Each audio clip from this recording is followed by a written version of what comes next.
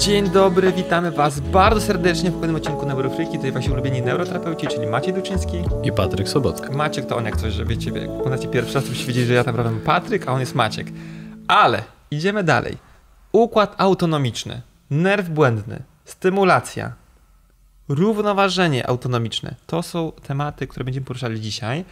Dlaczego będziemy o tym mówić? Dlatego, że jest to ważne. Po drugie, Myślę, że bardzo. każdy z Was ma ten układ. Tak, wasi pacjenci też mają. Każdy z Was stymuluje, uwaga, to jest ciekawe, każdy z Was stymuluje ten układ Mhm. i poniekąd pracuje z tym układem, nawet jak nie pracuje z ludźmi. Dokładnie tak. I chcielibyśmy, Tak, tak, żebyście robili to lepiej. I pytanie może popaść paść takie, po co? Bo na przykład jak my coś mówimy o... E, to jest w ogóle ciekawe, nie wiem, czy zauważyłeś, Mhm. ale czasami się pojawia taka ciekawostka, że jak mówimy coś o układzie nerwowym, o mózgu, Aha. to ludzie, ha, czyli co, masujcie mózg. Kojarzysz, no nie? Takie Tak, zabawne, zdarzało się. memy zabawne takie. Tak, tak, tak. Więc nie masuje mózgu. Bezpośrednio w sumie. Pośrednio Bezpośrednio go masujemy trochę. Trochę go masujemy. Macamy go trochę bezpośrednio. Tak. E, I e, właśnie, po pierwsze, po co to? Myślę, że e, każdy z Was się zgodzi, że aktualnie, jak sobie popatrzymy na społeczeństwo, to jesteśmy, może powiem jesteście, bo ja się nie czuję akurat. Jesteście. A ty się czujesz? Jeszcze nie wiem. N- nie wiem kim. E, przestymulowani. A, Czujesz się przestymulowany? a Znaczy są nie, nie, dni na, takie, nie na co że- dzień. Czasami tak. Generalnie staram się nie być, ale czasami, no jako, że po prostu jest Warszawa, wiesz, dużo takich różnych. Zaraz to rozwiniemy, bo już chciałem coś konkretnego powiedzieć, Tak. ale Dużo, powstrzymam się dużo stresorów. Dużo, dużo bodźców, dużo stresorów. No tak, Dokładnie. no i powiedzmy, że mm, powiedzmy, że u nas, jeśli mówisz o mnie, jakby łatwiej jest się trochę przestymulować, no bo jedna firma, druga firma, różne rzeczy. Mia- Takie Warszawa różne. takie tam, tak? Mówisz Tak. o tym. Rodzina, pies mój, który sobie kuku zrobił i muszę do weterynarza Mm. chodzić codziennie z nim teraz. Niefajnie trochę. E, I temat jest o tyle ciekawy, że bardzo dużo osób, które przychodzi do gabinetu, do mnie na pewno tak jest, ale wydaje mi się, że, że jakby przeprowadzić dobry wywiad w innych gabinetach, to w innych gabinetach też tak jest. Że ci ludzie po prostu mają takie objawy nie do końca standardowe. Mhm. Typu, nawet oni zwracają uwagę, że jak jest dużo bodźców na zewnątrz, to ich na przykład spina cały, na przykład wiesz, gł- głośno w galerii, niedobrze im się robi, czują napięcia mięśniowe e, i mają na przykład problemy trzewne, zgadza, zdarza się bardzo często Mhm. takie e, dużo objawów z ciała, jeśli chodzi o stres, który się pojawia, czyli jakiś czynnik stresowy zaraz, napięta żuchwa, kark ciśnięty, barki wysoko, oddech płytki i oni o, Mhm. tym zgłasz- o to zgłaszają. Dużo osób zgłasza, że ma problemy ze spaniem. Bardzo. E, bardzo dużo osób. Tak, tak, tak. Dużo osób mówi o tym, że ma problem z regeneracją. E, dużo osób e, zgłasza na przykład nie wiem, bóle głowy, migreny i takie chroniczne zmęczenie. Zespół chronicznego zmęczenia też może być. To w ogóle jednostka chorobowa, co mnie to trochę bawi. Albo fibromialgia. Tak, są takie właśnie e, tematy. Mhm. O, kolejna sprawa, na przykład osoby z, z racji zgłaszanych takich objawów, że też na przykład mają trochę gorszą kontrolę motoryczną, e, jest badanych w mm, kierunku takich chorób e, neurodegeneracyjnych. E, Mhm. Właśnie SM-u, jakiejś polineuropatii i tak dalej. I by się okazuje, że oni na przykład za bardzo nie są na to chorzy, czyli na przykład wiesz, nie ma jakichś problemów Mhm. ze słomką milinową i tak dalej, ale objawy są bardzo podobne. Tak jest. I układ e, autonomiczny, o którym będziemy mówili, nerw błędny, jest poniekąd pośrednim rozwiązaniem tych problemów. Yy, No tak, tak, tak, tak, dokładnie. Wiesz co, na- początku użyłeś takiego sformułowania, że to są yy, czasa, no, że to są często rzeczy, które jakby wydają się niespecyficzne i nietypowe, ale tak naprawdę ogromna ilość yy, problemów, które nas dotyczą, nas jako ludzi, to one są bezpośrednio konsekwencją właśnie układu autonomicznego i nawet my po prostu potrafimy nazwać te problemy, ale nie wiemy, że one są związane z tym układem autonomicznym. Jakie na przykład nazwiesz jakieś? E, no właśnie na przykład mogą być zawroty głowy, Okej. może być światłowstręt, Okej. może, mogą być e, nawet wzdęcia czy, czy zaparcia. Mhm. E, generalnie musimy pomyśleć sobie jakby czym jest w ogóle ten układ autonomiczny, bo to jest bardzo, jeśli chodzi o teorię, bardzo prosta sprawa. Układ autonomiczny to jest po prostu ta część naszego układu nerwowego, która zajmuje się funkcjami, którymi my nie musimy z, jakby świadomie zarządzać. nie? Czyli no nawet jak myślimy o oddychaniu, no to oddychanie jest w dużej mierze autonomiczne. My Mhm. oczywiście potrafimy go świadomie wstrzymać, zmienić, ćwiczyć ten oddech i tak dalej, ale w momencie, kiedy tylko my przekierujemy uwagę na cokolwiek innego, no to ten oddech dzieje się po prostu sam. Mhm. Nie? E, To, że właśnie nam się rozszerza, zwęża źrenica w reakcji na światło, Mhm. no to znowu jest to po prostu reakcja autonomiczna. Więc to, że mamy światłowstręt, e, że nas po prostu razi, jak wchodzimy do galerii handlowej, niektórych razi, niektórych nie. No więc właśnie znowu, których razi? Tych, którzy generalnie będą mieli problemy z, z reakcją tej źrenicy na światło, czyli będzie to jakaś dysautonomia. To jest w ogóle super test. Nie wiem, czy stosuje się test źreniczy w gabinecie, ale on, ja go praktycznie stosuję u każdego pacjenta, który jest u mnie pierwszy raz, Mhm. żeby mu wytłumaczyć nadwrażliwość na bodźce, no nie? Że Mhm. po prostu e, jak oglądacie na Spotify, to nie obejrzycie, bo tego pokazywał na palcach, wiesz, mały stresor i Mhm. powinna być mała reakcja układu nerwowego, czyli wiesz, jakby mały stres i mała reakcja. A bardzo często Mhm. jest tak, że mały stresor, czyli poświecisz aparatem, telefonem w oczy, Mhm. to, to nie jest duży stresor, bo już jest widno i tak, no nie, to ja nie Mhm. świecę po prostu w ciemnym pomieszczeniu, po prostu jeden źródło Tak. światła jest telefon, tylko tam już jest widno, ja dorzucam troszkę bodźca świetnego jest super duża reakcja, że ktoś mruży oczy, odsuwa Tak, tak, od razu tak, tak, tak. głowę, no ale też widzimy, jak na przykład robicie neurodiagnostykę, na przykład co się dzieje z mięsiem wskaźnikowym, tak? Mhm. To on nam mówi o małych zmianach w ciele. Tak, Zanim nawet powiesz, po prostu to, jak, ale też y, nawet reakcja źrenicy, to czy ona w ogóle utrzymuje skurcz. Mhm. Czyli jak świecimy komuś trochę, trochę bardziej, powiedzmy, no my, my w gabinetach to używamy zazwyczaj po prostu światła latarki z telefonu.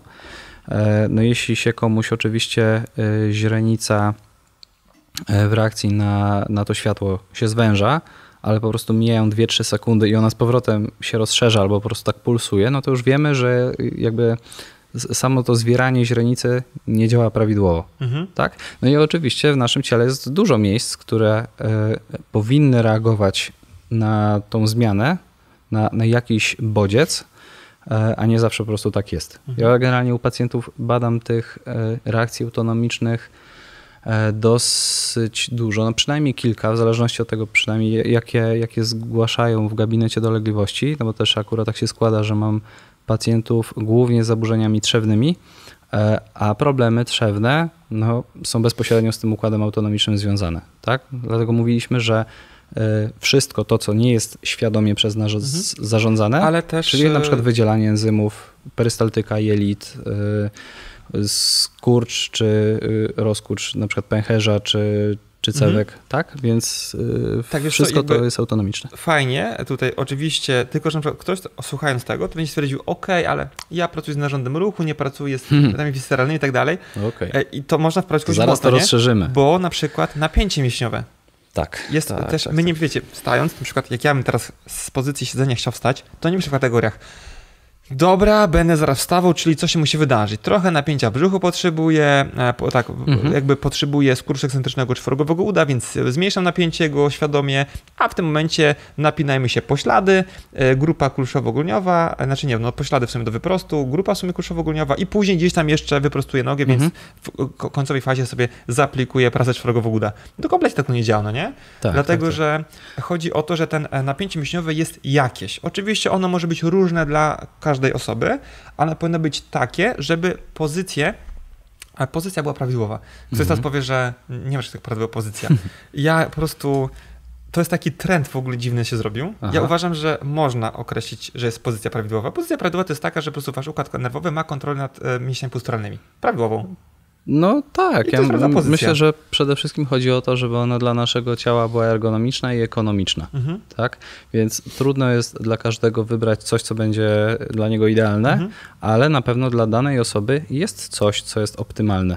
Tak, Jest jakiś wzorzec, który będzie sprawiał, że jemu w jego ciele funkcjonuje się lepiej, że jednak Wiesz- te obciążenia biomechaniczne też po prostu są rozkładane prawidłowo. Mhm. Bo oczywiście e, my swoim życiem wprowadzamy pewnego rodzaju nierównowagę napięciową.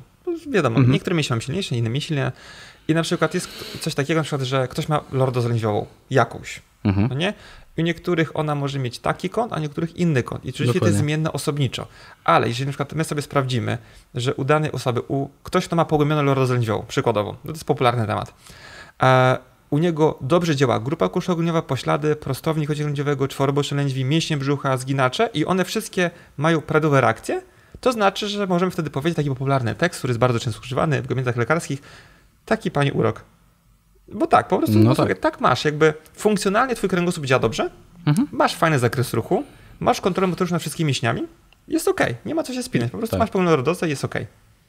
Dokładnie. Więc teoretycznie można Tak, bo ona, jest, bo ona jest pogłębiona nie względem tej samej osoby, Mhm. jej powiedzmy porównania, że rok temu to ona była y, płytsza, a teraz jest głębsza, tylko ona jest zawsze porównywalna, porównywana do jakiejś średniej społeczeństwa. Mhm. Tak, więc jak zawsze mówię, że jest jakaś średnia, to nie znaczy, że każde od niej odstępstwo będzie jakąś patologią. Mhm. Tak, więc jakby tutaj wracając nawet do samego układu autonomicznego, my oczywiście mamy wzorce ruchowe, które są związane akurat tutaj z naszą y, korą mózgową, z tymi wysokimi ośrodkami. I jeśli mówimy o napięciu mięśni poprzecznie prążkowanych, e, to my nimi zawiadujemy świadomie, ale właśnie sam ich też tonus mięśniowy, to jaki on jest spoczynkowy, jest też związane chociażby z działaniem e, właśnie na przykład neuroprzekaźników i z układem współczulnym, który może przy swojej jakby zwiększonej aktywności sprawiać, że e, te mięśnie mają ten tonus wyższy. Więc jak mamy na przykład takich pacjentów, gdzie widzimy u nich, że tych napięć w ciele jest bardzo dużo i ich jest globalnie sporo, e, no to możemy się spodziewać, że faktycznie jest w którąś stronę ta dysautonomia. Mhm. Tak, i wiesz to jest dobry, idealny moment teraz, jak powiedziałeś, dlatego że słuchajcie, taka mała tak mm, przerwa na reklamę, teraz powiem dwie, dwie bardzo ważne rzeczy. Po pierwsze, jakbyście chcieli nauczyć się, bo uważam, że każdy, kto pracuje z ciałem świadomie, powinien po prostu wiedzieć e, maksymalnie dużo o układzie autonomicznym, bo to rozwiązuje Mhm. bardzo dużo, słuchajcie, rzeczy. To może być taki fajny case, że macie pacjenta, który wam po prostu nie idzie, pracujecie z nim manualnie i za bardzo nie wiecie, dlaczego ta terapia nie idzie, może po prostu zwrócenie się ku autonomicznemu układowi nerwowemu będzie rozwiązaniem dobrym. Warto sprawdzić to. To tak, po pierwsze, e, tutaj obecno to Maciej Duczyński prowadzi taki kurs, który nazywa się Autonomiczny Układ Nerwowy. Pierwsza sprawa. A jakbyście chcieli po prostu praktycznej wiedzy, zapraszam serdecznie tego pana. A druga sprawa, pod spodem w tym filmie macie link. I teraz tak, jak jesteście u nas na newsletterze, to prawdopodobnie taki materiał już dostaliście. Jeżeli nie jesteście u nas na newsletterze, to możecie dostać taki materiał, zapisując się pod spodem w linku do tego newslettera, gdzie macie po prostu podstawowe e, techniki, jak z tym układem autonomicznym i z nerwem wolnym warto pracować. Proste, fajne rzeczy, które możecie wpleć w swoją terapię, bez różnicy, czy pracujecie jako terapeuci manualni, e, ostopaci, chociaż ostopaci podejrzewam, że powinni wiedzieć to dobrze, Raczej tak. aczkolwiek to będą może techniki, których wy nie korzystacie. Jak jesteście masażystami, e, trenerami, po prostu fajnie to robić i ewentualnie czasami nawet takie rzeczy dawać pacjentom do po prostu pracy, bo kilka rzeczy można robić też samodzielnie. Mhm. Dokładnie. Więc dwie rzeczy, kurs i newsletter w linku pod spodem. Możemy lecieć dalej. Mhm.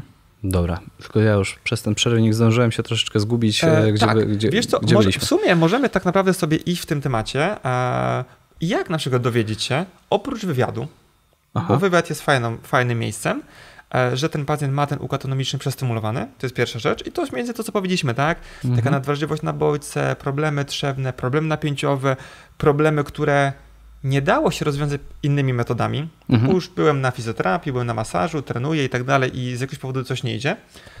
E, To jak się dowiedzieć, że ten układ nerwowy jest e, autonomicznie przestymulowany, że warto z nim pracować, a dwa, jak z nim pracować? Też można kilka rzeczy takich, wiesz, fajnych Mhm. tutaj wrzucić, żeby ludzie mogli sobie już coś ciekawego w domu porobić, albo na swoich e, pacjentach, jak już trochę tam znają anatomię, fizjologię, to żeby mogli coś zrobić. I przypomniała mi się też fajna rzecz jedna e, dzisiaj. To będzie taka odpowiedź na, na tą rzecz. Nie wiem, czy pan, m, który pisał do mnie, jakby też to będzie oglądał, też nie pamiętam, jak miał nazwisko i imię, ale chodzi o to, że był zarzut w stronę mnie. Podejrzewam nie tylko mnie, myślę, że dużo osób mogło tutaj, wiesz, jakby poczuć się smutnymi, że na przykład przychodzi nas pacjent, który ma przewlekły problem z kostką przykładowo, no nie? Mhm. E, I to była taka informacja, że my dajemy ciała, dlatego że jak ktoś przychodzi i mówi, problem z kostką, to my tą szybko kostkę byśmy naprawić, a nie robić jakiejś rzeczy przy głowie i macać go za uchem. I temat jest taki, oczywiście wiecie, żeby, gdyby to było takie proste, To już ten temat dawno byłby załatwiony. to ja bym, ja bym, jak dałoby się zrobić to przez pracę z kostką, a naprawdę, słuchajcie, potrafię pracować z kostką. No tak, to nie jest rocket science. To nie jest rocket science. Potrafię pracować z tkankami miękkimi z kostką. Potrafię mobilizować kostkę. Znam ćwiczenie na kostkę. Nie jest, że naprawdę ma. Mogę napisać teraz z miejsca e-booka o kostce. No tak. Siadam i piszę, no nie? Naprawdę trochę z tymi kostkami popracowałem, ale się okazuje czasami, że z jakiegoś powodu my nie mamy możliwości regeneracyjnych. Czyli po prostu, mhm. mimo tego, że ktoś już pracował z kostką, to ta kostka dalej go boli. Pytanie dlaczego? Dlaczego ten pacjent nie leczy się? Dlaczego ta terapia nie do przodu? I właśnie praca z układem autonomicznym, e, wyrównaniem pracy tego układu może być bardzo fajnym rozwiązaniem, bo się okazuje, że mimo tego, że tej kostki nie dotykacie, to on na przykład z dnia na dzień zaczyna boleć mniej. Bo ktoś ma jakiś, wiesz, stan mhm. zapalny chroniczny, był no, jakiś właśnie jakaś sensytyzacja tutaj receptorowa była mhm. aktywna. Nawet obkurczenie po prostu naczyń obwodowe. Na przykład. Nie? I nie było zaopatrzone po prostu ta kostka w krew, a jak wiecie, bez krwi jest trochę lipa. Słabo. Słabo, bez krwi te tkanki się goją, powiem wam, jakby w sumie tak. to się nie goją. Tak, no i niestety akurat tutaj głównie jest problem z, z naszymi dystalnymi częściami ciała, tak? to na przykład powinny na to zwrócić uwagę osoby, którym bardzo mocno marzną ręce albo stopy. I tak? teraz Więc pół Polski jest... mówi, what? No, e, generalnie tak, no bo znowu mamy tutaj, e, to jest daleko, daleko od serca, jakby metabolicznie jest to, mm, to, to są miejsca, które jakby pierwsze świadczą o tym, że na tym podłożu właśnie takim autonomicznym albo metabolicznym coś się dzieje. Tutaj e, zobaczcie, że o tym się akurat e, mówi sporo, że jeśli zaczynają nam pękać e, paznokcie, robią nam się tam przebarwienia pod nimi, rozwarstwia się płytka albo właśnie mamy jakieś zmiany troficzne na Suplement na paznokcie. Jak coś tam się na, na to bierze zawsze. Panie no, łakają na paznokcie i włosy. tak, no bo generalnie może to być faktycznie jakiś problem z, z minerałami chociażby, yy, które są jakby Czyli tam składnikami bu budulcowymi płytki. Tak, ale generalnie jeśli mamy tam zmiany definitywnie troficzne, mhm. czyli na przykład widzimy, że mamy yy, po prostu białe te paznokcie, jakby nie docierała do nich y, krew. Mamy na przykład tak, że przyciskamy y, sobie opuszek palca, paznokieć nam trochę bieleje, ale później puszczamy i on w ogóle jakby nie odzyskuje tego koloru zbyt, zbyt szybko, widzimy po prostu, że one gdzieś tam pękają i tak dalej, no to raczej mamy jakieś zmiany na poziomie przynajmniej metabolicznym, a jeśli w dodatku nam dosyć szybko y, marzną, no to możemy się spodziewać, że naczynia krwionośne tutaj nie funkcjonują do końca tak, jak być powinny. Więc może to być po prostu też jeden z, z takich znaków właśnie, nasz, że nasz układ autonomiczny niespecjalnie dobrze funkcjonuje. E, jeśli chodzi o układ krążenia, to też często pojawiające się plamy o takim marmurkowatym charakterze. Często akurat na, na dekolcie się pojawiają, czyli takie po prostu czerwone e, plamy na dużym, takim przejaśnionym, prawie bladym, bladym tle.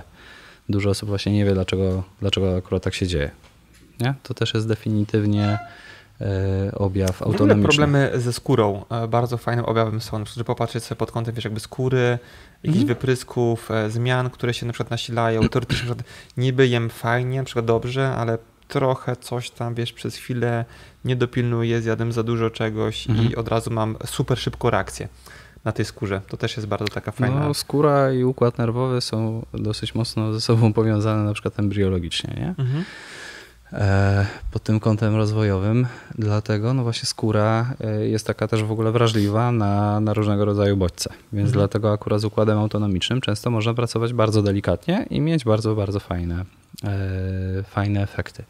Tutaj w ogóle jak mówimy o układzie krążenia, właśnie, to też jest akurat taki mega dobry tip, który ja też daję pacjentom jako takie zalecenie do trochę samokontroli i samoobserwacji tego, co się w ogóle y, zmienia na przestrzeni czasu, to y, tętno spoczynkowe. Mhm. Bo akurat y, ono jest bardzo mocno zależne właśnie tak naprawdę od tych dwóch, y, dwóch układów. Czyli od układu współczulnego, który daje nam pobudzenie mięśnia sercowego, przyspiesza jego akcję, ale przyspiesza go dopiero od tętna 100 w górę. A jeśli mamy tętno niższe, no i mam nadzieję, że po prostu my wszyscy tutaj takie mamy, to dzieje się to nie za pomocą właśnie tego układu współczulnego, tylko za pomocą hamulca wagalnego, czyli po prostu nerwu błędnego. Mhm. Serce, jeśli byłoby odnerwione, to ono samo w sobie biłoby e, właśnie w takim rytmie 100 uderzeń na minutę. Więc to nerw błędny spowalnia jego pracę. I teraz, jeśli będziemy mieli jakąś dysautonomię, to y, może nam serce bić y, w nieprawidłowym zakresie. To akurat książki podają, że nasze prawidłowe tętno wynosi tam między y, mniej więcej 60 a 100. Są różnice, są rozbieżności między, bardzo między duża tymi literaturami. rozbieżność. Bardzo duża rozbieżność. Ja myślę, że znaczy nie widziałem jeszcze pacjenta, który by się dobrze czuł i miał tętno spoczynkowe 100. W ogóle dosyć rzadko zdarzają się pacjenci, którzy mają je aż tak wysokie, no ale powiedzmy, że tam na przestrzeni ostatniego pół roku no to z pięciu, sześciu takich pacjentów miałem, że mieli taką wyjściową stówkę. No i oczywiście to pokazywało, że ich układ y, nerwu błędnego działa generalnie fatalnie, co jakby się potwierdziło gdzieś tam w kolejnych Mogą testach. sporo jeść. Y, Spalanie znaczy, kalorii jest dość Teoretycznie mogliby, ale mają też jednocześnie bardzo duże problemy trzewne, więc niespecjalnie, No niespecjalnie bo dużo im jednocześnie to daje. lidy kiepsko działa, bo są Mhm. cały czas pobudzeni chronicznie. Tak, bo mają y, zazwyczaj jak są w sympatykotonii, bo akurat u tych pacjentów wysokie tętno to jest raczej y, przewaga tego układu Mhm. współczulnego i wyhamowany nerw błędny e, sprawia, że mają po prostu zaciśnięte naczynia krwionośne w obrębie tułowia. Mhm. No więc y, trawienie jest generalnie fatalne. Jest też y, jakby, więc prawdo, takie prawidłowe tętno dla, dla ludzi raczej się będzie mieściło w takich granicach mniej więcej pomiędzy 55, no 70, nie? pewnie. Tak, to e, nie notujcie sobie tego, że to jest taka sztywna granica. Znaczy, to docelowo im E. mniej, tym lepiej. Znaczy nie tak, że 30, e, bo to może być trochę za mało, tak. ale ja bym celowo po prostu przy 60, żeby mieć. Tak, nie- znaczy tu bym się zgodził, że nie mniej tym teoretycznie lepiej, ale pod warunkiem, że to wynika z adaptacji. Mhm. Bo teraz jak mamy osoby, które mają silny mięsień sercowy po prostu i on jest taki dlatego, że y, uprawiamy na przykład sport jakiś wytrzymałościowy. Czyli na przykład u maratończyków jakby zmierzyć im tętno spoczynkowe, to ono często wynosi około 40. Mhm. 40, 45, nie? E, I u nich to jest fizjologia. Mhm. To jest ok, ale miewam też w gabinecie pacjentów, których sportem jest generalnie Netflix i makaron Mhm. e, i też mają tętno 45 spoczynkowe. Co się wydaje nienaturalnie niskie, jak na ich aktywność fizyczną, no bo nie mają generalnie żadnych zmian adaptacyjnych. E, No i to będzie świadczyło z kolei o przebodźcowaniu układu autonomicznego, ale w drugą stronę. Oni Mhm. mają nadmiernie aktywny e, nerw błędny, przede wszystkim jego tą część e, grzbietową i zazwyczaj, zazwyczaj, nie zawsze, ale wiąże się to z mm, zaburzeniami takimi na tle na przykład emocjonalnym. Czyli Mhm. to jest charakterystyczne też dla pacjentów e, z zespołem stresu pourazowego. Okej. Tak to jest wy- wyłączeni trochę. Y, tak, tak, tak. trochę. Tak, generalnie dużo właśnie takich, taka postawa trochę dysocjacyjna. Z kolei też problemy różne, trzewne, kiepska jakość snu, problemy często gdzieś tam w ogóle z samopoczuciem. To są zazwyczaj też osoby, które gdzieś tam już jak do mnie trafiają, to są i w procesie psychoterapeutycznym, e, w- ogóle w jakichś, jakichś różnych formach leczenia takich psychiatrycznego i u nich często właśnie to tętno spoczynkowe jest e, bardzo niskie. Mhm. Więc pracując z tym układem autonomicznym, dobrym pomysłem jest, jest też generalnie celować w to, żeby to tętno spoczynkowe u pacjenta oscylowało w tych funkcjonalnych, e, prawidłowych granicach. Mhm. Więc jeżeli macie teraz do 70 i zrobić coś ze sobą, jedną fajnie wam do 50, no to jakby sztosik. Generalnie zazwyczaj tak jest. Tak. Tak. Jednocześnie wiecie, że co to spowodowało, typu, że zacząłem ćwiczyć, regularnie Mhm. się odżywiać, lepiej spać, no to możecie być z siebie po prostu e, dumni. E, myślę, że oddech też jest fajnym e, punktem e, wyjścia pod kątem Mhm. tego, jak nasz układ autonomiczny działa, bo powiedziałeś, że ten układ autonomiczny odpowiada za oddech, więc fajnie byłoby zobaczyć jakby jaka jest jakość tego oddechu na przykład, bo jeżeli na przykład oddech jest bardzo płytki i szybki, no to to nie jest specjalnie fajnie.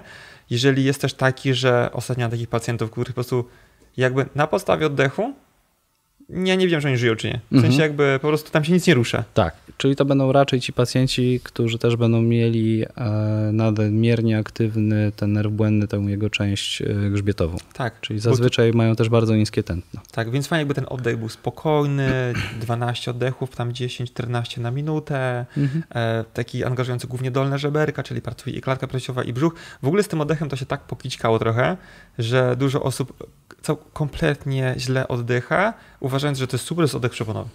Czyli po prostu pcham cały powietrze brzuch, Mhm. on się wydyma, wygląda w ciąży i Tak, to, tak, to jest ok. Klatka piersiowa nie pracować, ona ma nie pracować, ona ma być zamknięta. Mhm.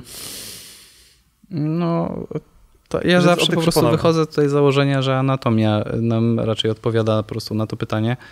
E, Skoro mamy mięśni wdechowych i wydechowych całkiem sporo i to nie jest tylko i wyłącznie przepona, Tak jest. E, mamy no w ogóle jakby całą klatkę piersiową, mamy żebra, które w sobie też przecież zawierają płuca i one też mają możliwość po prostu poruszania się e, w swoim zakresie, wspomagając ten ruch oddychania, no to one generalnie powinny się ruszać. Przepona też nie jest największym mięśniem wdechowym. No, co najważniejsze, nawet y, gdyby była, możemy nawet uznać, niech będzie, że ona jest najważniejsza, bo ona faktycznie jakby pełni y, największą tą rolę oddechową y, fizjologicznie, no ale to, że jest najważniejsza, to nie znaczy, że reszta ma urlop. Mhm. I że jeden no zasuwa. Jak są takie sytuacje, nie? że przykład działa tylko przepona, są takie Tak, sytuacje. jak na klasycznej polskiej budowie, nie? E, nie, są takie sytuacje, że działa tylko przepona, Tak. to jest niedobrze, bo ktoś na przykład, e, wiesz, bo przepona z racji unerwienia, Mhm. masz uraz kręgosłupa na poziomie dolnych segmentów szyjnych C3, C, C5. i w ogóle sparaliżowane inne mięśnie wdechowe, no to się okazuje, że wcale jakość życia nie jest jakoś super dobra. Nie? Pewnie nie. I masz tylko przeponę. To, to, to, to nie, jest, nie jest dobrze. Więc tych parametrów, żeby oceniać ten układ autonomiczny jest dużo. Można oczywiście mieć bardziej specyficzne te parametry, można robić na przykład bardzo fachowo pod kątem um, Oceny HRV, HRV. HRV ale to Mhm. może, może na kiedyś indziej ocena HRV, bo to jest też fajny temat, Mhm. e, żeby pobawić się troszeczkę, a też ze sobą, pooceniać sobie siebie. To też może zrobimy w kolejnym materiale. E, tutaj materiał e, dla Was, jak to w ogóle robić i o co w ogóle chodzi z tym HRV. Bo w ogóle HRV, był taki moment, że ono taki, był super ekscytacja. Nie wiem, czy kojarzysz, jak śledziłeś e, jakieś takie tematy związane z brain hackingiem, Mhm. to był taki moment, że podejmuj każdą decyzję na podstawie HRV. E, ja takie nawet gdzieś tam rzeczy Tak, znalazłem. tak, tak. No. Teraz się uspokoiło troszeczkę. E, E, tak, dlatego że się też trochę poja- zaczęło pojawiać więcej materiałów na ten temat. E, I HRV jest dobrym wyznacznikiem różnych rzeczy, ale myślę, że też nie ma co popadać e, w obłęd pod tym kątem. E, mo- Może ono po prostu inaczej jest. Trochę przeceniana jego wartość w naszym jakby codziennym życiu. mhm. Ja myślę, że oczywiście fajnie jest mieć możliwość na przykład śledzić trend gdzieś tam tej naszej zmienności rytmu zatokowego serca, na przykład można ją badać w nocy, no i zobaczyć, czy po prostu się lepiej regenerujemy. Ale z kolei obserwowanie tego w jakiś taki maniakalny sposób y, może po prostu nas doprowadzać do takiego wręcz efektu nocebo Mhm. że widzimy, że mamy słaby wynik, na przykład smartwatche. E, Teraz większość smartwatchy e, mierzy nam w jakiś sposób e, jakość snu, albo po prostu mierzy nam e, zmienność rytmu zatokowego serca. E, No to możemy mieć po prostu od rana takie przeświadczenie. Ja się kiedyś na tym złapałem, jak korzystałem akurat z e, tej obrączki, z Oura Ringa. I jak na przykład już rano widziałem, że mam słaby wynik, to już miałem takie kurcze, To nie będzie dobry a dzień. to już dzisiaj nie będzie dobry dzień, nie? no Dzisiaj i już jakby nastawiałem się na to, że dzisiaj to już ani nie poszaleję, ale Trening treningu to za bardzo nie zrobię, z pacjentami ciężko mi się będzie pracowało, nie? Więc y, w pewnym momencie po prostu przestałem korzystać z tego i zauważyłem, że w ogóle lepiej mi się funkcjonuje, bo ja Ja czasami sprawdziłem. miałem, miałem wrażenie, że się wyspałem, a obrączka pokazywała co innego. Zobacz swoje bady batery. Ja miałem ostatnio nawet y, niezłe, zobaczmy. Dzisiaj robiłem też trening. No dobra, no. Ile tam masz? Mało. Było ja też mam małe jak coś. 79, a Ile? teraz miałem 79, ale po treningu trochę mi tam zjechało. Jest. Miał 79? Ja w- wyglądam jakbym mierzył dzisiaj. A, No, 21. To jest mega słabo. Znaczy, do późno okay. spać, zgadza się, e, oczywiście. E, mieliśmy pogoduszki tutaj ze znajomym. Natomiast, e, no i widzicie, na teraz już w tym momencie już nie mam mocy w podcaście. no już Patryk już się na dzisiaj już skończył. koniec, tak. Jedna piąta moc stała, teraz mogę max umyć zęby i spać. E, więc to jest taka sama wspomniana się przepowiednia. nie? Ja też na przykład w ogóle tego nie używam, bo po prostu jeden dzień o tym zaważył, że wstaję rano. To, to wiecie, ten pomiar też nie jest dokładny, z nadgarstka. Tak, umówmy się. Mhm.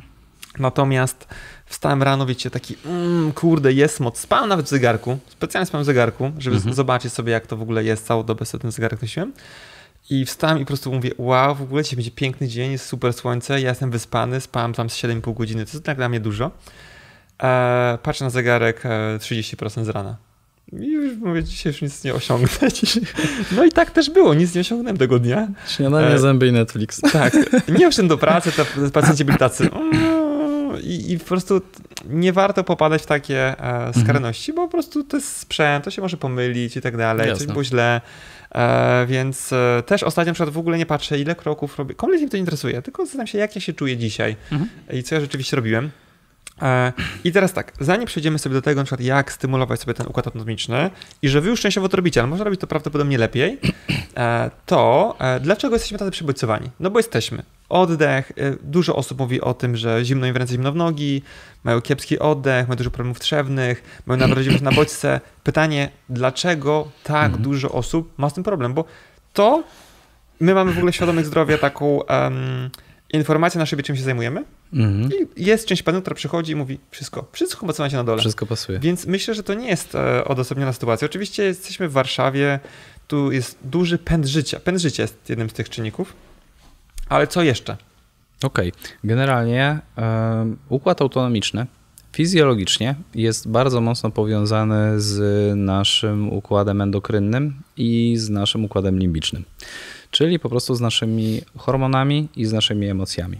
Więc jeśli będziemy się czuli gorzej psychicznie, mamy jakieś gorsze samopoczucie tego dnia, albo na przykład już może jest to jakiś problem po prostu chorobowy. Na przykład cierpimy na depresję, na jakieś zaburzenia lękowe.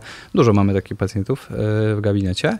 E, no to u nich ten układ autonomiczny z automatu będzie po prostu działał gorzej, dlatego że on jest tak silnie e, też po prostu z nim, z nim powiązany. Już te reakcje autonomiczne są pewnym sensie warunkowane przez, przez to, o czym będzie też mówiło e, im na przykład ciało migdałowate, czyli właśnie ta nasza struktura mózgu odpowiadająca za e, to, żeby nas informować o każdym zagrożeniu. Nie? Więc na przykład, tak jak mówiłem wcześniej, w zespole stresu pourazowego to jest bardzo mocno nadaktywna struktura i ona będzie też rzutowała w ten nasz e, układ autonomiczny, e, więc chociażby te, te mentalne części. E, układ hormonalny, no to nawet tutaj możemy zobaczyć, że mamy dużo pacjentów, znaczy czy, czy pacjentów, czy nawet każdy z nas zna dużo osób, które mają różne problemy hormonalne. Mhm. Tak? Czy to będziemy mówili o chorobach takich już e, z e, autoimmunologicznych, typu na przykład choroba Hashimoto, ale nawet po prostu każda forma e, nadczynności, niedoczynności tarczycy, no też już będzie jakimś zaburzeniem, mhm. które będzie rzutowało nam w układ autonomiczny. Mamy dużo ingerencji w nasz ten układ endokrynny, e, na przykład nasze hormony płciowe. Mhm. Tak? Więc to może y, z kolei być y, wywołane na przykład lekami, które bierzemy, czasami jakimiś suplementami, czasami w ogóle naszym trybem życia, tym właśnie w jakich godzinach kładziemy się spać, czy się w ogóle wysypiamy, czy nie. Od tego na przykład u facetów będzie bardzo mocno zależał poziom testosteronu. Mhm. Czasami też rzeczy, które my możemy y, jeść albo pić. E, mamy dużo w pożywieniu czy w wodzie e, ksenobiotyków. Ksenobiotyki to są właściwie wszystkie e, substancje w pożywieniu, które tak naprawdę nie są mm, naturalnie w nich występujące. Tak? Czyli właściwie różne zanieczyszczenia mogą być przez nasz organizm odbierane jako coś bardzo podobnego do hormonu. Mhm. Mogą po prostu dla danego receptora w ciele pełnić taką coś, co jakby mimikuje dany hormon. Tak? E, dużo się na przykład ostatnio mówi o tym zanieczyszczeniu mikroplastikiem, mhm. tak? I ono też może być po prostu hormonalnie e, aktywne. E, możemy mieć zaburzenia mikrobioty jelitowej, która też będzie rzutowała w nasz układ autonomiczny, czyli tak naprawdę różne rzeczy, które są no, plagą teraz tego XXI wieku. Czyli to będą te czynniki i środowiskowe, które no niestety mamy. Czy mamy smog? Mhm. W ogóle dzisiaj się spotkałem z tym, że ostatnio podobno jest popularny pogląd, że smog w ogóle jakby nie, nie szkodzi nam na zdrowie, tylko nas no, hartuje.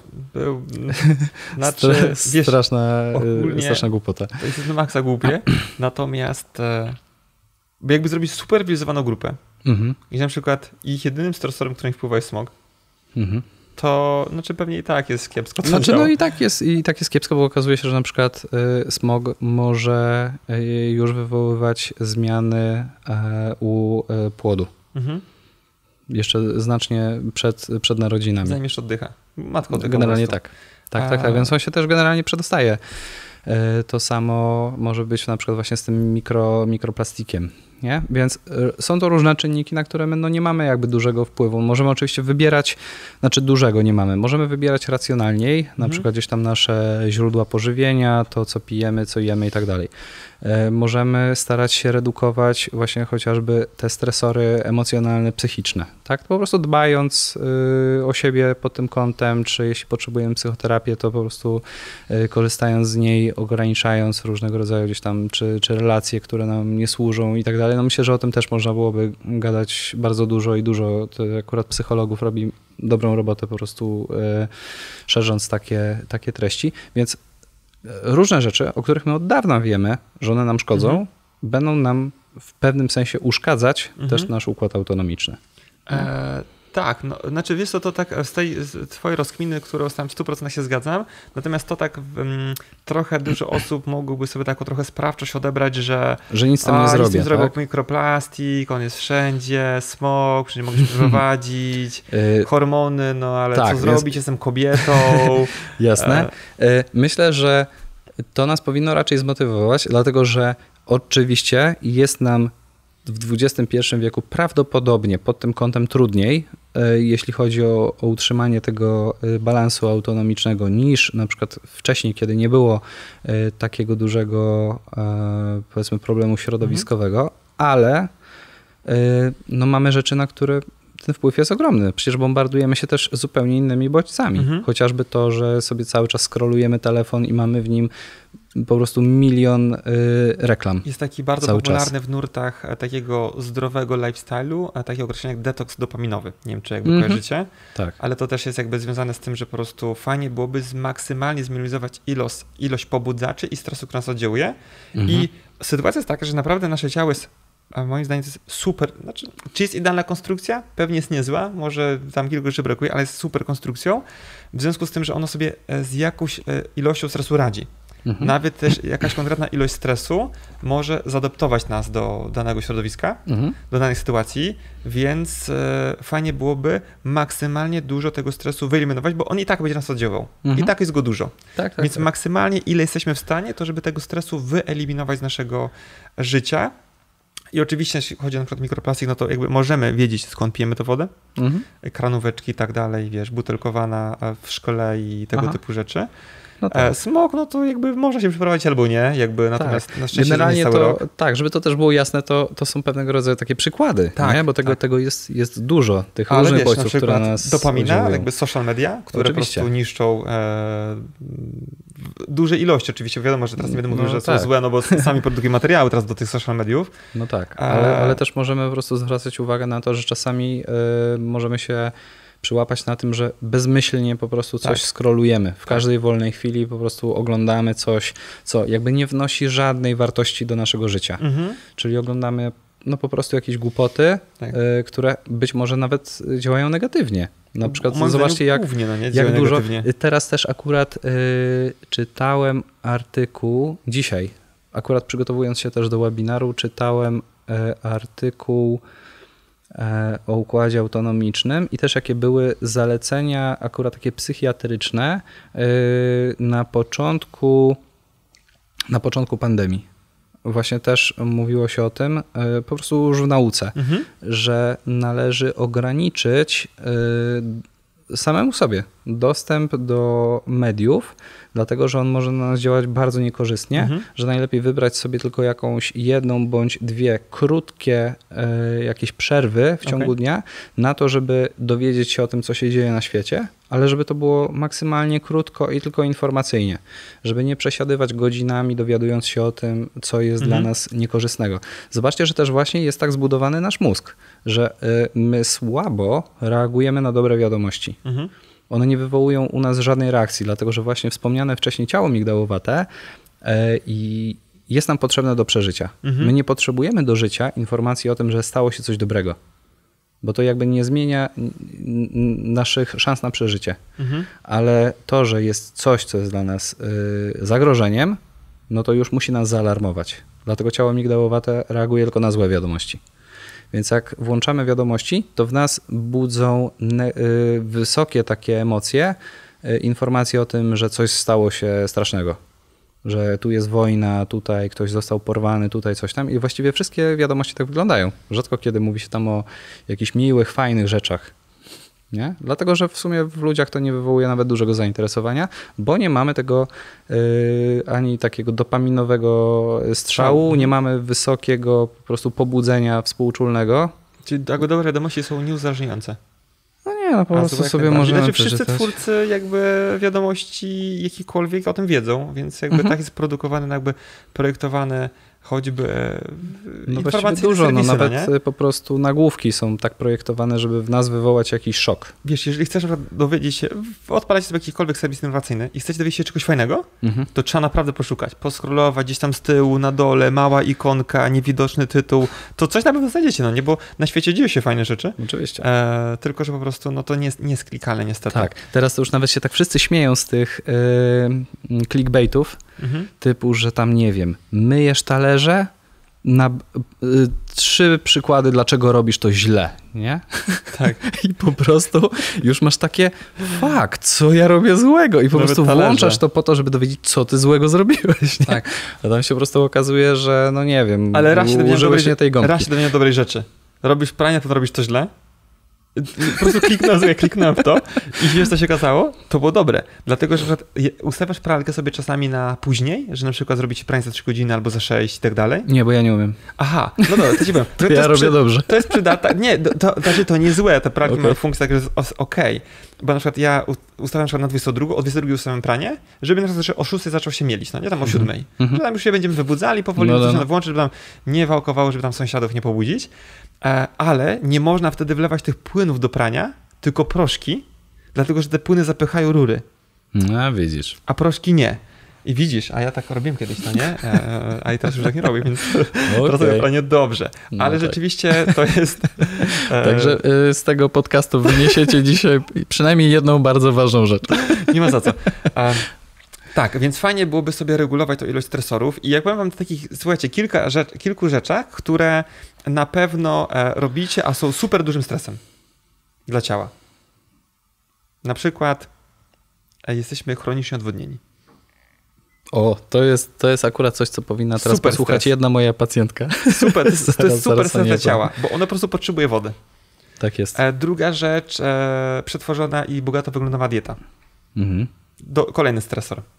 Teraz się jakby No, Ja zauważyłem Tak. na różnych dietetycznych profilach, że bardzo popularny jest teraz, pewnie nie wiem tego źle, ale chodzi o e, taki mikrostan zapalny, który jest po żywieniu. On ma jakąś tam swoją nazwę. Kojarzysz? znaczy jest, jest jakby kilka takich różnych teorii z tym związanych. Ja też nie pamiętam wszystkich nazw, Mhm. y, ale no, du- dużo się mówi o tym. Tak, i że, po prostu, że po prostu jak ta dieta jest oczywiście produkty przetworzone i wysokowęglowodanowe, no to po prostu ten zapalny utrzymuje się długo. Co Mhm. niekorzystnie wpływa po prostu na Mhm. układ e, autoimmunologiczny i układ autonomiczny i tak, tak dalej. Tak, tak. E, kolejną rzeczą jest po prostu super dużym stresem dla naszego ciała, jest po prostu bardzo mała ilość ruchu. O, to to na pewno. No. I to To są na takie pewno. rzeczy, które wiesz, jakby masz bardzo duży wpływ na to. Mhm. No i oczywiście e, odpoczywanie. To jest ciekawe, jakbyś na przykład zapytał się, i, i do stu ludzi, ja czasami pytam moich pacjentów, jak odpoczywają. I on na przykład mówi, mój pacjent, że ja odpoczywam biegając. Mhm. No nie jest to do końca W ogóle jakby to jest- jakby odpoczynek. To jest rekreacja. Tak, Rekreacja. znaczy to jest po prostu To jest miłe. Miłe. Albo ktoś odpoczywa, że ja odpoczywam robiąc drewno. Znaczy ogólnie to w takim razie jakby smutno mi, że twoje życie wygląda tak, No że tak. po co się odpoczywasz. Jakby to znaczy, że są Mhm. gorsze dużo rzeczy, no nie? Mhm. Bo e, odpoczywanie powinno polegać na tym, że jakby tych bodźców prawie nie ma. Tak. Leżysz sobie, jesteś w autorelaksacji. Mhm. E, W ogóle też- sobie tylko. Tak, też niedawno e, czytałem bardzo ciekawy artykuł, e, taki, z, taki neurobiologiczny, mówiący o tym, że w krajach takich mniej uprzemysłowionych e, duża część społeczeństwa odpoczywa jakby zupełnie biernie. Super. Czyli jak mamy na przykład, nie wiem, takie, już teraz może znowu skrajny przykład, jakieś do rzeczy Amazonki, gdzie sobie tam ludzie siedzą w jakichś po prostu chatkach, Mhm. To oni robią. dużo czasu spędzają robiąc nic. To jest mega trudne. Siedzą sobie, jest- siedzą, patrzą sobie na wodę na przykład, nie? Tak. Gdzie u nas jakby to w ogóle kulturowo nie przechodzi. Wiesz co? E, że starsze społeczeństwo. My musimy wręcz y, zaplanować to, żeby pomedytować, żeby robić nic. E, starsze pokolenia. E, typu, wiesz, No tak. wychodzisz sobie przed domek, Nie sobie ktoś na przykład na na ławeczce? nie? ziomkiem ale to już jest, rzadko spotykane. Na przykład jak jedziesz gdzieś na takich takich, wiesz, o, wiesz gdzie to widziałem na przykład? W górach. Mhm.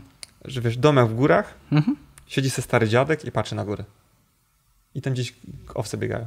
No to To tak, ale w mieście nie ma opcji.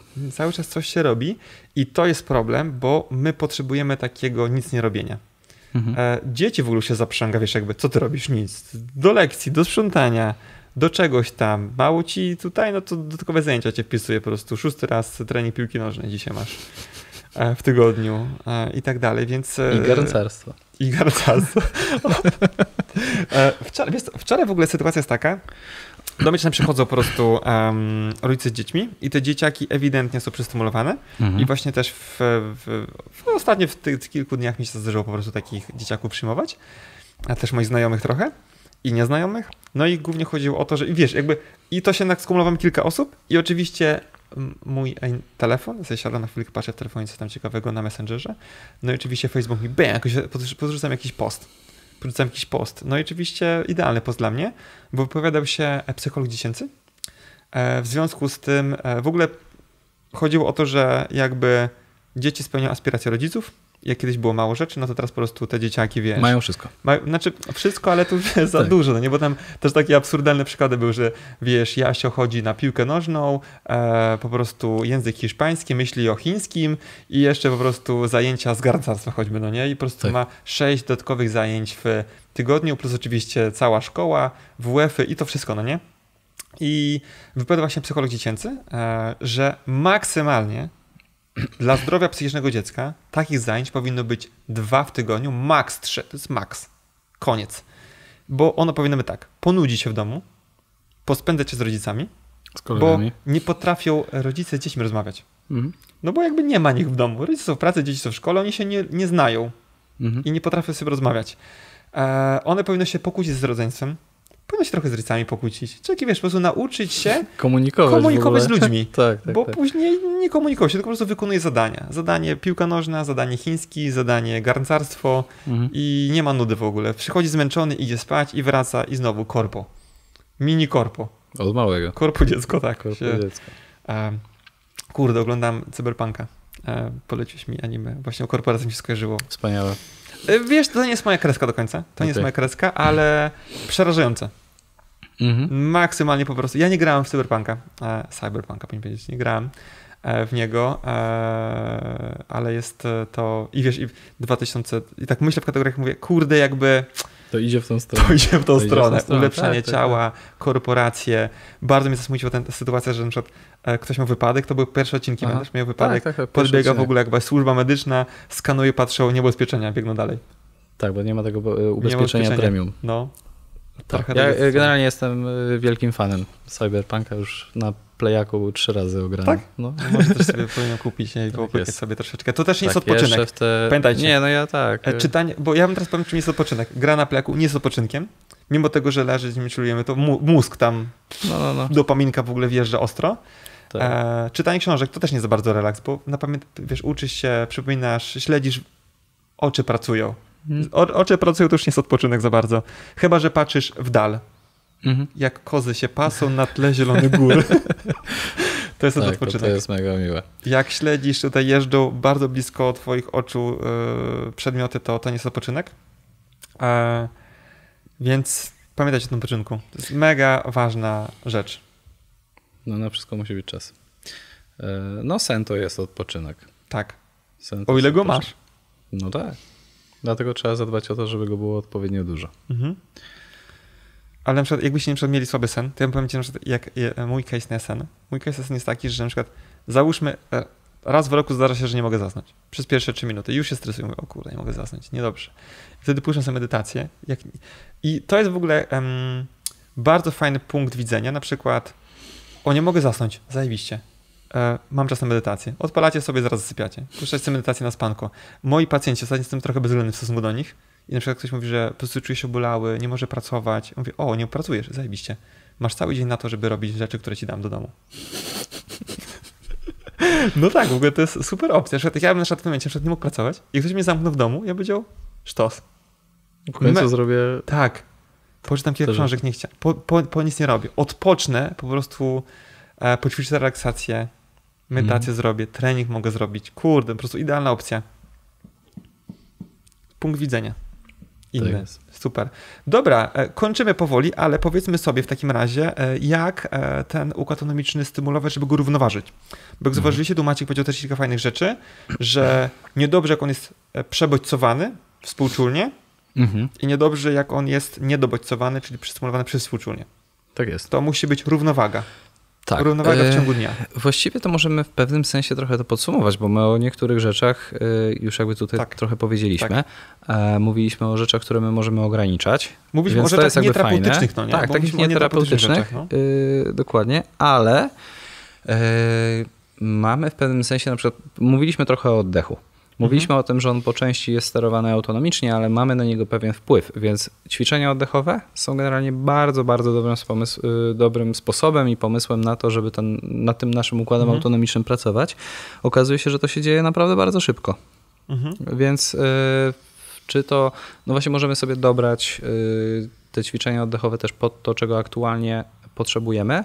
Y, Możecie tutaj na przykład spróbować bazować na swoim tętnie. Więc y, w przypadku, kiedy mm, nie czujemy się specjalnie dobrze i chcemy poprawić to do naszych takich, e, no powiedzmy, tych 60 punktów. Przyjmijmy teraz roboczo, że to byłby dla nas e, taki, taki w porządku e, tętno. Mamy bardzo niskie. To dobrze byłoby dobrać ćwiczenia oddechowe, na przykład takie, jakie sugeruje Wim Hof. Pobudzi się trochę. Takie pobudzające. I wtedy faktycznie u większości osób e, robi No, to dobrą na, robotę. Na pewno to wystrzeli konkretnie. Tak, i e, co ciekawe, e, to akurat o tych ćwiczeniach oddechowych ja też kiedyś miałem taką dobrą rozkminę. Pamiętam, że y, kiedyś zaczęliśmy sobie to we dwóch w Mhm. ogóle y, ćwiczyć. Tylko ja się bardzo, bardzo źle po nich czułem. Okej. Ja się, ja pamiętam, że w ogóle y, byliśmy kiedyś na kursie w Krakowie, strzeliliśmy sobie taką sesję oddechową Mhm. przed spaniem i ja tej nocy w ogóle nie mogłem spać. okej. Czułem się jakbym wypił ze 3 litry kawy. Tak i byłem wystrzelony w kosmos, czułem cały czas w ogóle łomotanie serca. Yy, Wtedy ja pamiętam, że mój stan yy, zdrowia nie był specjalnie dobry, więc ja już by- byłem generalnie dosyć mocno pobudzony współczulnie, więc ja sobie jeszcze bardziej dowaliłem do pieca. Nie? Więc tutaj możecie po prostu sprawdzić, bo to nie zawsze się sprawdza, z tego co, y, z tego co też zaobserwowałem. Nie ma takiej stuprocentowej korelacji, ale jednak jest taka tendencja, że jak mamy to tętno spoczynkowe niskie albo prawidłowe, to wtedy te ćwiczenia Wim Hofa robią nam fajną robotę, dają nam większe możliwości w ogóle zaadaptowania się y, do stresu, E, więc może to być terapeutyczne, może być profilaktyczne, Mhm. tak? To jest, y, to jest jedna opcja, a druga są też ćwiczenia, które akurat w tamtym momencie by mi bardzo pomogły, to są takie e, oddechy bardziej jogowe. Mhm. Taki jest y, oddech Ujjayi. To też mm, to jest trudne do, do opowiedzenia, zwłaszcza na podcaście, więc polecam wam też, żebyście sobie e, się tym tematem zainteresowali. Jest, y, ja, ja tego w ogóle nigdy nie potrafię wpisać, bo to jest dosyć trudne. To, to No, się tak wymawia, w ogóle Ujjayi, ale... to na pewno się Google powie. Tak, tak, tak, tak, bo tego Google y, właśnie W ogóle wie o co chodzi. wie o co chodzi. E, nie- nie- Niesamowite, że te algorytmy potrafią y, czasami nawet jak fałszujemy jakąś piosenkę, pisząc ją po angielsku, polsku, to wie o co chodzi, nie? Wszyscy, znaczy, znaczy wszyscy fałszują i po prostu już jakby I po prostu już wie. Tak, tak. Tak, teraz w ogóle y, AI robi robotę. Więc oddech Ujjayi mniej więcej polega trochę na takim oddychaniu, to głupio brzmi i, i trzeba to trochę popróbować. E, Polega na tym, jakbyśmy próbowali chuchać, tak, tak jak możecie sobie wyobrazić, jak macie szybę i chcielibyście na niej tak nachuchać, żeby zrobić na niej taką To, nie parę. taki, to jest ten oddech ognia, jakby taki nazywany, prostu żeby takie... Też jakby nie, takie- nie, nie, nie, okej, bo to polega na takim chuchaniu, ale jednocześnie mając zamknięte usta. O wiem o co chodzi, dobra. Tak. E, tak, bo tego jest bardzo dużo, tych sposobów oddychania, ale też bym powiem taką rzecz terapeutyczną. Na przykład jak sobie oceniacie oddech pacjenta i na przykład on jest em, na przykład bardzo na przykład taki em, szybki, y, g- pacjent pracujący głównie górną częścią klatki piersiowej, no to się też można zastanowić na przykład dlaczego on nie pracuje na przykład dolnymi żebrami brzuchem. Mhm. I tak, się może okazać, że tam jest coś, co mu w tak, tym może przeszkadza. napięcia, które po prostu ogranicza. Wiecie, jakby też nie wiadomo, co było pierwsze kura czy jajko w tym Mhm. przypadku, bo się może okazać tak, że on był po prostu mocno pobudzony współczulnie jakiś czas temu przykładowo, tam się wydarzyło dużo stresowych rzeczy w jego życiu, e, zaczął właśnie tak oddychać bardzo płytko górną e, częścią klatki piersiowej, e, to spowodowało, że po prostu nasze ciało adoptuje się do ruchu, który wykonujemy. Mhm. Więc tam po prostu tego ruchu było bardzo mało, więc doszło do jakichś po prostu napięć mięśniowych, sztywności. Jeśli to było bardzo długo, to może zwłóknienia jakieś, aczkolwiek mięśnie wdechowe za bardzo nie włóknieją. Mhm. E... Ale jednocześnie przy takim dużym pobudzeniu współczulnym właśnie ogranicza nam to dopływ e, krwi do trzewi. A, więc właśnie. po jakimś czasie u takich pacjentów też e, widzę to, że się pojawiają chociażby zaparcia, mhm. E, wzdęcia, więc to ciśnienie w jamie brzusznej nam generalnie rośnie. No i niestety ogranicza nam mhm. ruchomość przepony, więc w pewnym sensie utrwala nam ten wzorzec oddychania Dokładnie. górą i, on, i nawet go wymusza. Tak, i on utrwala, więc na przykład praca z dolną czy klatką piersiowej, z opatrzem przepony, jamą brzuszną powoduje, że tam się robi przestrzeń, mogę poprawić środowisko, no to żeby ta, ten oddech e, w brzuchu i dolnych żebrach pojawił się. Mhm. Więc to też może być taka fajna sytuacja. W ogóle stymulowanie klatki piersiowej i brzucha jest super, jeśli chodzi o e, układ autonomiczny. To jest jakby nam przyszło do głowy tak jakby co warto zrobić, to są takie jedne z pierwszych elementów, które po prostu warto zrobić. Jest to łatwe, proste i dużo osób to robi, tak? Bo zobaczcie na przykład, jak e, czasami e, nawet e, wykonujemy zwykły masaż. Taki mhm. po prostu prosty masaż i widzimy, że ktoś jest przemęczony, przebodźcowany, dużo się wydarzyło, to on zaraz, co mu się spięło? Szyjka, kręgosłup piersiowy, mhm. ciężko z oddechem i zaraz kładziemy pacjent na brzuch i tam cyk, kręgosłup piersiowy, tak? Mięsień mhm. prostowniczek, praca między żeberkami, gdzieś tam kark i, się okazuje, że to jest takie fajne, wyciszające, bo są obszary, które mają bardzo duży wpływ na e, pobudzenie współczulne, chcemy je tak mhm. wyhamować sobie ten obszar troszeczkę. No nawet po prostu, nawet jak pomyślimy o anatomii układu współczulnego, to jego zwoje biegną po prostu przy stawach żebrowo-kręgowych. Mhm. Więc nawet jeśli się e, tak na spokojnie porolujemy i pomobilizujemy mhm. na rollerze, e, to to już robi fajną robotę. Tak, ale można robić bardziej, nazwijmy to specjalistyczne rzeczy pod kątem mhm. stymulacji np. twarzy, gdzieś tam nerwu błędnego, obszaru szyi, gdzieś tam pracy z mózgu czaszką. Tak. Więc tak, tak jest tak, tak. troszeczkę bardziej specjalistycznych W ogóle rzeczy. tych technik y, pracy tu jest y, bardzo dużo, mhm. nie? no bo mamy bardzo dużo rejonów, które są przez ten y, układ autonomiczny unerwione, więc mhm. generalnie e, naczynia, e, narządy wewnętrzne właściwie i klatki piersiowej i, i jamy brzusznej, miednicy, mhm a no wiadomo, że to wszystko też musi funkcjonować przez, przez to autonomiczne unerwienie. E, no i właśnie głowa, twarz, dużo nerwów czaszkowych też ma e, te swoje autonomiczne funkcje. Mówiliśmy na przykład dzisiaj o oczach. E, więc w sumie to całe centrum naszego ciała to są takie obszary mocno autonomicznie takie no, responsywne. Powiedzmy. Teraz bardzo popularne są takie masaże twarzy. Mhm. I dużo wiesz, osób chodzi oprócz tego, że nasza skóra wygląda fajnie, to dużo osób nas mówi, że kurde, Bardzo niby masaż twarzy, a ja w ogóle taka luźna cała mhm. i w ogóle jakoś się fajnie oddycha i czuję, że mi zeszło napięcie z lędźwi i tak dalej, bo właśnie e, to jest super obszar do tego, żeby troszeczkę kogoś właśnie zrelaksować, wyciszyć mhm. i postawić sobie ten układ autonomiczny, więc warto e, czerpać z tego i do swojej pracy manualnej e, dorzucić na przykład czasami od takich osób pracę z głową, z e, oczami, z czaszką, z obszarem stawów skrążufowych, tutaj mhm. całym aparatem stomatognatycznym. Oczywiście dopasowując to, wiecie, idealną opcją byłoby, żeby nie łapać tego na tak przysłowiową pałę, e, tylko po prostu zbadać sobie pacjenta, czego Dokładnie. najbardziej potrzebuje, tak? Gdzie mamy najwięcej tych podrażnień receptorowych, co warto wyciszyć, z czym on ma problemy największe i uderzyć sobie w obszary, które są e, najbardziej, nazwijmy to, zestresowane. W ten sposób. I tak mhm. jak mówię, e, my w ogóle, to jest ciekawe, e, ale na przykład bardzo staramy się, żeby praktycznie na e, każdym z szkoleń, które gdzieś tam robimy, pojawił się temat układu autonomicznego, czy jest masaż mm -hmm. czy oczywiście jest neurosygiaterapia, no to tam wiadomo, no jakby jest, głównie. Jest dużo e, tej głównie, tak, tak, bardzo dużo, czy w ogóle dedykowana praca u Maćka na kursie, ale też i na treningowym kursie u Marka, w ogóle praktycznie zawsze, no bo to jest, mm -hmm. słuchajcie, to jest coś, co naprawdę rozwiązuje tak dużo problemów, że warto się tym tematem zainteresować, bo praca jest prosta. Są techniki, które są proste bardzo, oczywiście są techniki też bardzo specjalistyczne. Wszystko zależy z jaką grupą pacjentów pracujecie, ale mhm. pochylcie się nad tym pacjentem i też edukacja.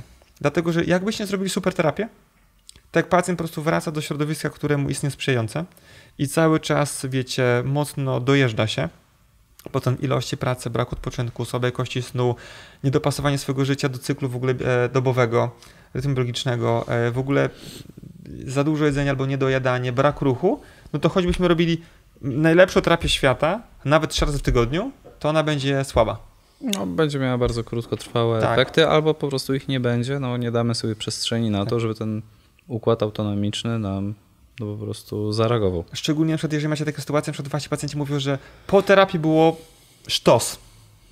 Elegancko. Przez trzy dni albo tydzień. I później wszystko wróciło.